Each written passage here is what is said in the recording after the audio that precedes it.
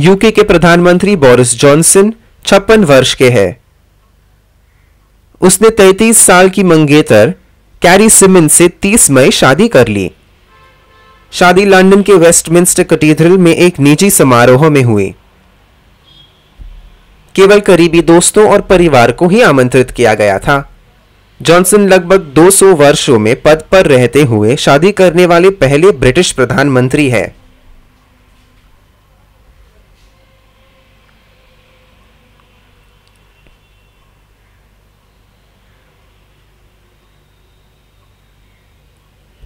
पद पर रहते हुए शादी करने वाले अंतिम प्रधानमंत्री 1820 में रॉबर्ट बैंक्स जेनकिंसन थे। प्रधानमंत्री की यह तीसरी शादी है, जबकि सिमन की यह पहली शादी है।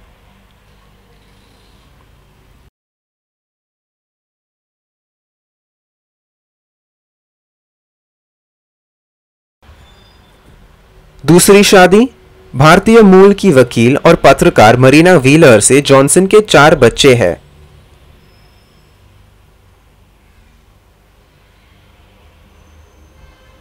दोनों ने घोषणा की थी कि वे सितंबर 2018 में शादी के 25 साल बाद अलग हो रहे हैं।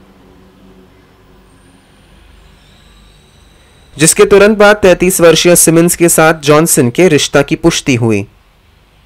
दोनों ने फरवरी 2020 में घोषणा की कि उनकी मंगनी हो चुकी है। अप्रैल 2020 को सिमंस ने दंपति के पहले बच्चे विल्फ्रेड को जन्म दिया।